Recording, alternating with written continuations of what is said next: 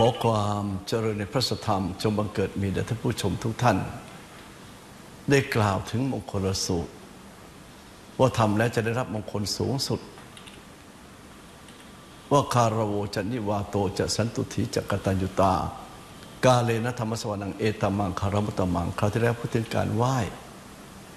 คราวนี้คำว่าคารวะนั้นจะเป็นมงคลอันสูงสุดก็คือ ก็คืออะไรความเคารพ บุคคลจะประสบความสำเร็จเป็นมงคลยิ่งยิ่งขึ้นไป ต้องมีความเคารพในระเบียบอระเบียบให้มันถี่ถ้วนซะก่อน ว่าเราอยู่กับบ้านไหน อยู่กับคนไหน อยู่กับองค์กรไหน ศึกษาระเบียบขององค์กร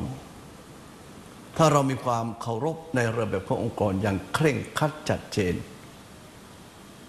ความเจริญก็เกิดขึ้นเขาเรียกไม่ผิดกฎระเบียบ วินัย การเคารพในวินัยมีความสำคัญ เพราะวินัยคืออะไรนำไปสู่ความวิเศษ วินยโยแปลว่า ข้อคิดก็ได้ เทคนิคก็ได้ซ่อนเงื่อนก็ได้ แต่คำว่าวินัยแปลว่าเส้นทางที่นำไปสู่ความวิเศษยิ่งยิ่งขึ้นไป อยู่ที่ไหนก็แล้วแต่ต้องเคารพในวินัยของสถานที่นั้นๆ ของหน่วยงานนั้น ๆ ถ้าผิดวินัยแปลว่าเลิกกัน ก็จะมีบทลงโทษตามเข้ามาอีก นอกจากวินัยแล้วเคารพในบุคคล บุคคลที่เราพึงเคารพก็มีสี่ระดับ คือหนึ่งวัยวุฒิผู้ที่เจริญด้วยอายุมากกว่าเราสองคุณวุฒิผู้มีความรู้มากกว่าเราสองวุฒินี้อาจจะสลับกัน บางคนอายุมาก แต่ความรู้น้อยมันก็ต้องคารวะทั้งคู่ นั่นคารวะประสบการณ์นี่คารวะคารวะวิชาการ